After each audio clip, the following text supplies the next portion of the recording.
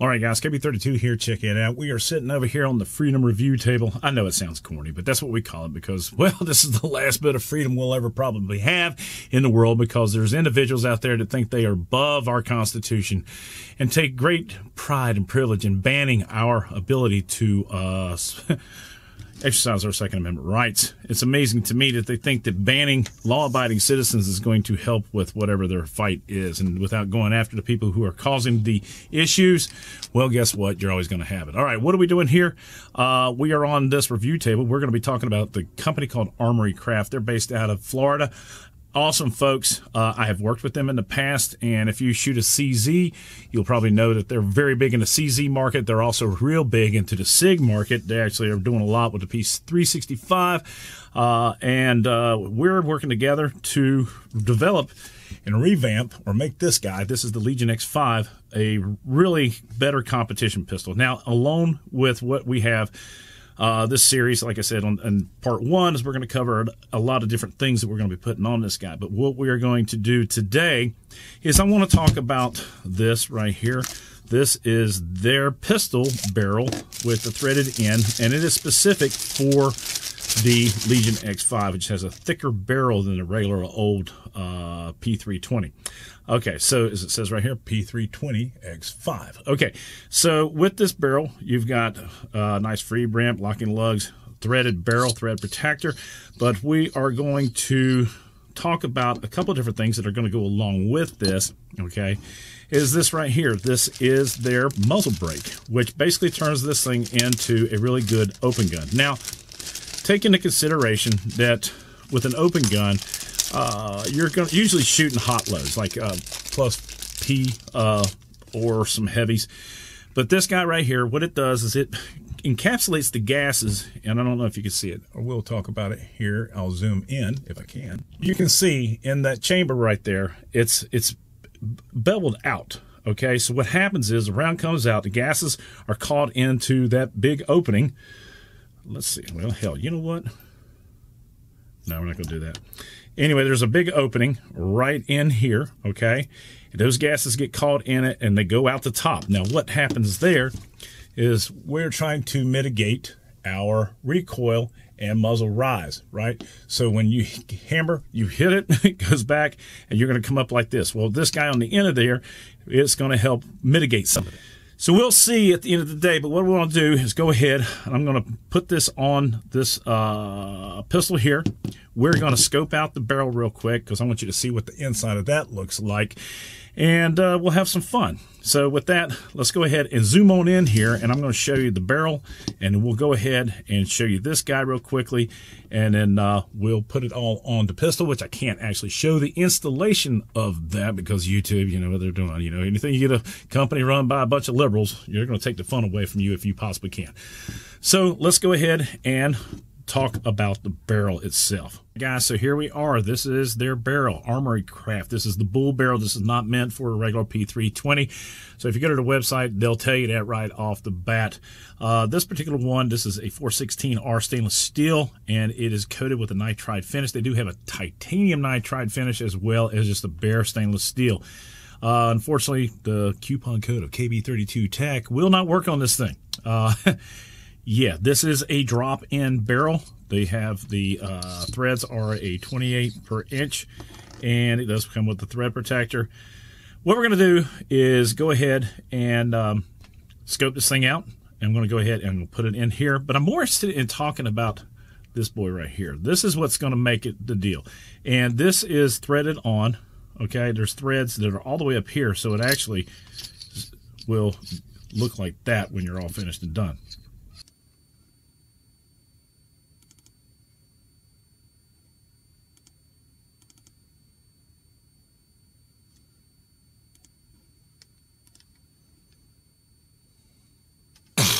Oh, you fucker.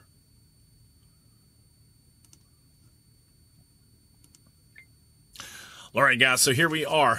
the reason you're watching this video is because my mirror on the Teslong borescope broke. And I didn't feel like the image that I was presenting to you was worth a hoot. So I decided to go ahead and put this guy on here. We actually ran it in a competition. Uh, I've actually augmented and fixed uh, my holster, which is really nice. It does a great fit. And I'm going to tell you something, this thing really does a great job. Now, does a muzzle brake really help you with factory ammo? Um, some say yes, some say no.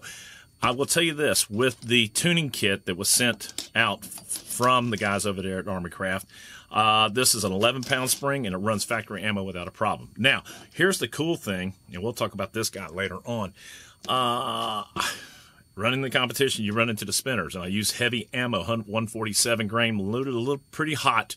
And what you're wanting to do is go pop, pop, pop, pop, pop, pop, pop, pop, pop, pop, pop, pop, to make that spinner go around and around. A heavy rounds hit it is pretty good. Stand by, gonna watch a video right now. Here we go.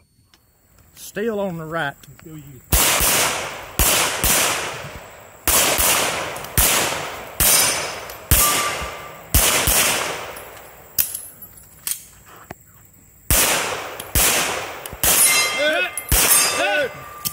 All right, couple of quick double taps. All right, top. One more Horton.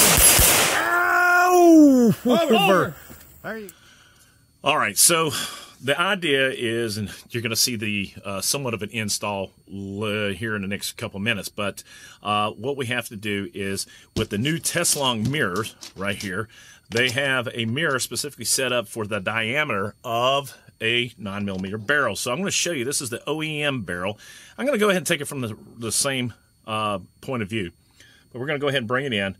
And one of the things you'll notice is that this is a drilled out barrel, okay? And it's button pulled, which means they pull a, a, a, piece of steel through it that forms the grooves and it gets very hot. I've actually seen the process. It's pretty cool. Um, but you can see, and one of the points I'm making is how much copper is built up inside this barrel. It's pretty damn neat. Uh, not a lot of carbon, actually, which is cool. As you can see, there's the chamber. And there's my fingerprints. But the lands and the grooves, that's what we're looking at. And as you get out further, you can see where this thing is cut. This barrel probably has more than, God knows, I've lost count of how many rounds this thing's gone through. Several two or three years of competition. Uh, Mr. Quest had this pistol before me, so only God knows how many rounds he put through it. Now, this guy right here, I probably have maybe 200, 300 rounds through it. You're going to see the copper build up on the grooves by the, the drill that were made by the drill, closer to the uh, the chamber, all right? But the landings and the grooves look good. Now, it, right there, look at that. You can see where we got some copper buildup. 416 stainless steel, right? And I would expect that here in the near future, this thing is going to look a lot like the OEM barrel. But I'll tell you what, man, I am really impressed with this mirror and the way it looks. Man, oh man, oh man. But that's one of the things. The barrel plus this muzzle brake make a really good combination. 147 grain had no problem with it. All right, so that's the uh, picture of the inside of the barrel. 11 ounce, 11 pound spring works great. Uh, you can tune this to your re your reloads, or if you're running plus P ammo, plus plus P ammo. But boy, oh boy, soft shooter with the muzzle brake. Let's get on back, and I'll show you the rest of the video. And here we go. Stand by. That I do use is this Super Tech. You can go to any auto store. Uh, it's an all-purpose. This is a parts cleaner, and it'll get any solvents or anything lubricants off of there because that's what I want to do. I'm going to make sure that we are awesomely clean before we uh, attach this guy because I want to clean out all these little nooks and crannies.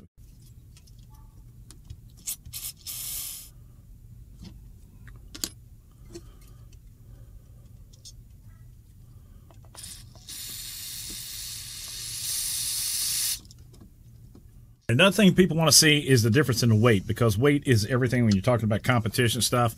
And let's do this. The OEM barrel is 5.6 ounces, and this guy right here is 5.9 ounces. Uh, don't have to worry about the thread protector. But you know what? Let's weigh the gun before and after. That's that's actually a pretty uh, good idea. Here, let's go ahead and put this guy back together and we'll do this. All right, so to put the firearm back together again, let's go ahead and put it on our scales. And remember this, two pounds, 9.7 ounces, two pounds, 9.7 ounces.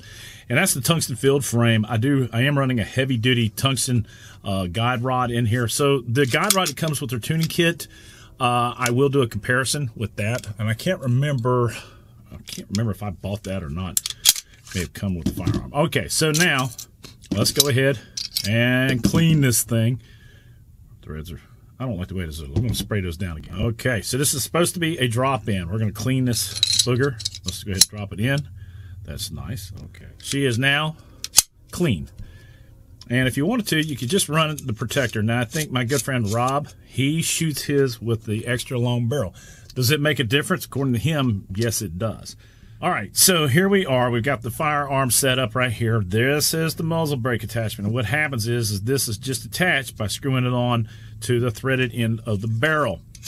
Uh, as long as the thread pattern is the same as this guy right here, uh, 128 and one half by 28 revolutions, uh, you can pretty much use it on anything. But this particular guy right here, the milling matches up with milling on the slide of the Legion X5, which is really, really cool. Now, before you do anything, and this is right, let's start off by saying this is really time sensitive, okay, in that uh, when you put together a program, we're doing a whole video series on this stuff, okay? So what happens is you have to do this step, all right? Then you're reliant upon certain folks making sure that they get stuff to you on time, okay? And then uh, you go out and shoot. Range time is limited. Uh, my time's limited. We're very busy. But what we have to do is I want this thing to set up. There's two set screws, one here and one here. And that's why we clean this guy out really, really well. Uh, there is a pocket right here for the guide rod to go into. All right, okay. Uh, and that's it, pretty much in a nutshell. But we'll go ahead and we will do some blue Loctite on these screws. You want to snug them up. I have not read the instructions. Warning, do not cover damage across thread due to installation error, including stripping or screws or thread to compensator threads to secure curing of the screws. After blue Loctite is applied, please do not use for 24 hours, okay? Uh, and it does tell you to degrease this thing. I like using that motor cleaner, parts cleaner, because it really does get it done. Ugh, blue Loctite, it tastes nasty.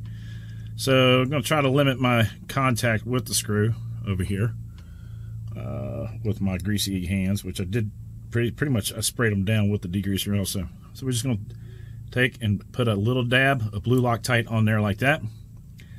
I'm going to insert that screw.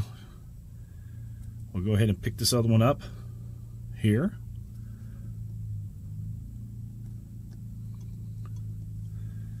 And we'll dab it up there.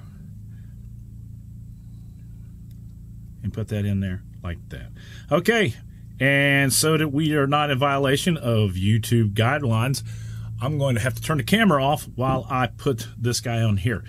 I would love to see if they had any kind of like uh, specs on tightening. They were going to purchase a little little, little, little, little, little. Nope, nothing there, nothing there. Don't strip out the screws. Avoid stripping the threads. Yep. Warranty does not cover damage or cross threading due to installation error, including stripping of screws, threads, or the compensator threads of securing screws. All right, so we'll go ahead and shut it down and stand by. Uh, just an FYI, you want to take the slide off in order to do the installation because the drive rod will stick out just a little bit and when it keeps you from being able to twist this thing on. So there you go, and you want to align it as best as possible. All right, so the install is complete. And one of the things you want to do while you're tightening up the screws, I do it by feel, is I want to make sure that this thing is properly aligned, okay? As well as I'm, I'm actually, I close my eyes when I'm sitting here feeling the top of it so that I know it's all lined up. But that, in a nutshell, ladies and gentlemen, is it. And that is really cool. Now, let's do this. I'm going to turn the camera off again, all right? to uh, show what this thing looks like after I've installed the slide. Well, there it is. Man, what a good looking firearm. Look at that thing. Ladies and gentlemen, that is cool as it gets. And uh, the neat thing is, is you can see how it floats with the barrel, okay? Bam, we're done. Uh, we'll let this thing set up. We're going to take it out probably Tuesday because I won't have a whole lot of time otherwise. But we'll take it out on Tuesday and let it shoot and see what happens. Again, like I said, I'm running hot rounds through the sky, so it should do very well. Plus, uh, you know, we were talking about the weight of this thing before and after, correct? And I, I can't, can't, I don't even remember what the weight was before. So let's see, let the thing zero out. There we go. And put this guy on here. Two pounds, 13.1 ounces. One of the things, it, it looks awkward, maybe out of balance, the pistol does, with the way it looks right now. Back that thing off a bit. But when you have an extended mag that's out this big, that's pretty cool. Now, one of the things also we talked about with this is modifying the holster so that it will actually uh, it's going to be about right well no it'll be about right there. And uh, what we're going to do is I'm going to wrap this guy up in tape. We're going to heat this up. Don't have a heat gun but I got a torch right here somewhere. There it is right there and we'll hold it, away from the heat but I'm actually going to wrap it up with tape and then I'm just going to as it warms up I'm just going to push it in there just like to push it in there and uh, let that set up but man boy, let me tell you something. I can't wait. And unfortunately, I did have a thumb rest right here, uh, kickstand, and I ordered this awesome Red Hill tactical uh, holster. I forgot to mention that it had that part on there, so I had to take it off. No big deal, honestly. Uh, but this thing's bad as a bone. All right. Well, guys, that's it. This is the cleaning, accessorizing of the uh, Armory Craft barrel, along with the muzzle brake. That thing's bad to the bone. Y'all be good. It's KB32. If you have any questions below, please don't hesitate in asking. Uh, KB32 TAC is the discount code. Uh, take a look at their website. It's pretty damn badass, and they have so many cool parts, American made, uh, which is very, you know, unusual these days, to be honest with you. But that's it. Wow, man. Look at that guy. That's a bad mamma jamma right there. It's KB32. If you like the video, please give it a thumbs up. Subscribe, subscribe if you haven't done so. Support red, white, and blue. God bless America. God bless us men, women in uniform 24 7 for our freedom. Because freedom comes with some hot rounds in 9 millimeter with a big ass muzzle brake on the front. Help you with that uh, muzzle rise. A recoil. There you go. It's KB32. I'm out of here. Y'all be good.